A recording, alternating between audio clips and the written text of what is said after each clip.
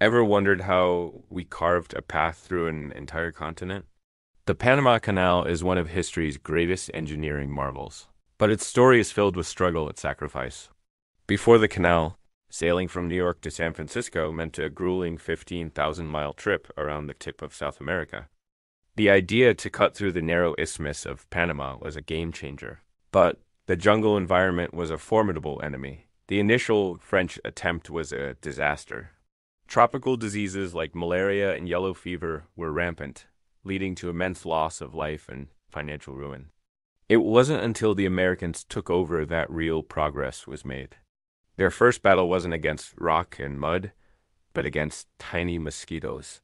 By draining swamps and implementing massive public health measures, they conquered the diseases. Only then could they tackle the monumental task of cutting through mountains and building giant locks to lift massive ships. The Panama Canal literally reshaped our world, but it stands as a testament to human perseverance against incredible odds. Thanks for watching. If you found this interesting, please like, share, and subscribe for more amazing stories.